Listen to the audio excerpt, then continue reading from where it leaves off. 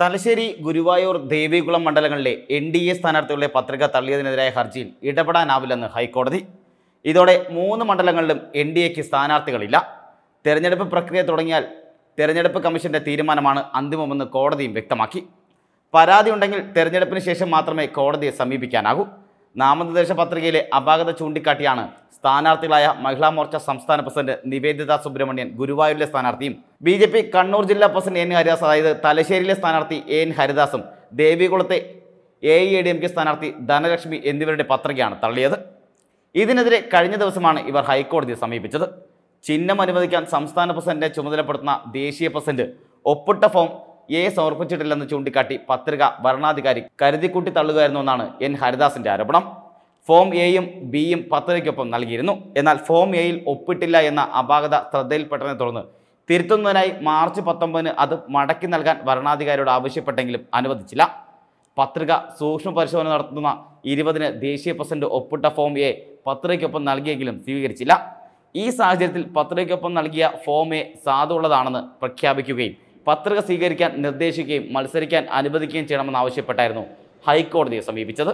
നാമനിർദ്ദേശ പത്രികയ്ക്കൊപ്പം സമർപ്പിക്കുന്ന ഫോം ബിയിൽ സംസ്ഥാന പ്രസിഡന്റിന്റെ ഒപ്പില്ല എന്ന കാരണത്താലാണ് തന്റെ പത്രിക തള്ളിയതെന്ന് ഗുരുവായൂർ സ്ഥാനാർത്ഥിയായ മഹിളാ മോർച്ച സംസ്ഥാന പ്രസിഡന്റ് നിവേദിത സുബ്രഹ്മണ്യന്റെ ഹർജിയിൽ പറയുന്നുണ്ട്.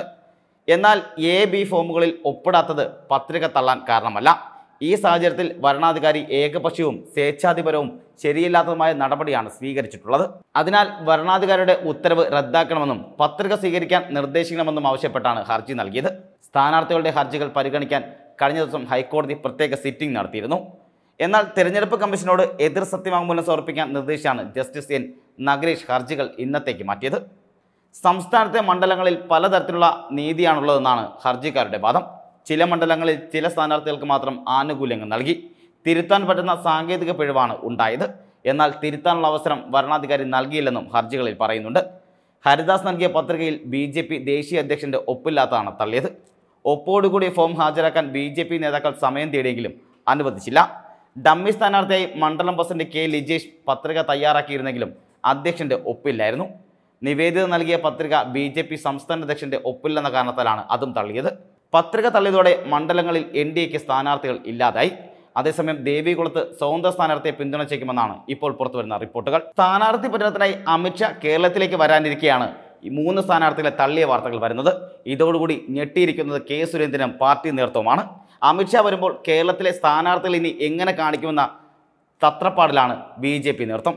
കെ സുരേന്ദ്രന്റെ ഒപ്പില്ലാത്തതാണ് രണ്ട് സ്ഥാനാർത്ഥികളുടെ പത്രിക തള്ളാനുള്ള കാരണവും. അപ്പോൾ അതുകൊണ്ട് തന്നെയാണ് കെ സുരേന്ദ്രൻ ഇപ്പോൾ പെട്ടിരിക്കുന്നത്. ഇനി എന്ത് ചെയ്യണമെന്നറിയാത്ത അവസ്ഥയിലാണ് ബി സംസ്ഥാന നേതൃത്വം